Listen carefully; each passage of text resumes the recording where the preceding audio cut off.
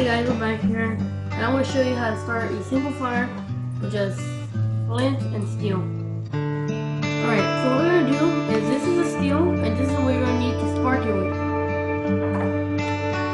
But obviously, we're gonna use have to, we're gonna have to have safety stuff around. We have water, and we have something to cover it with. So oxygen cannot come in, and the flame can just stop if I don't want to use the water.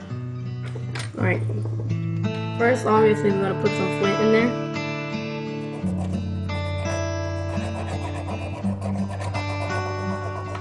If you're wondering what was in there already, it was just more flint, just pre, so I, so you guys wouldn't have to keep waiting. Alright, after you got a bunch like this, I'm using toilet paper.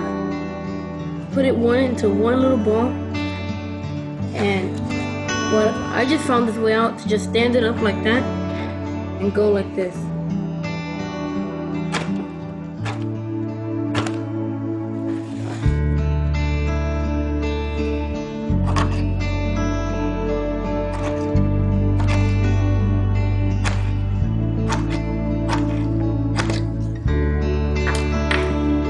Couple times you're, and you don't make it, you're, you're gonna have to keep on fixing it.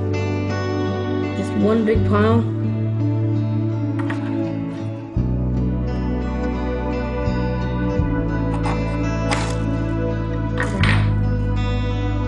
There we go.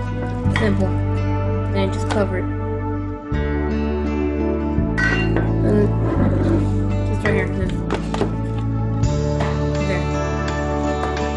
See, just simple. Flint, steel, and toilet paper. Uh, Again, little flint, and this is waterproof. I bought it at a at a store, any kind of store. And just remember to be safe with this. Don't use it around trees or forests. And thanks for watching. Make sure to like and subscribe. And I'll see you guys next time. Peace out.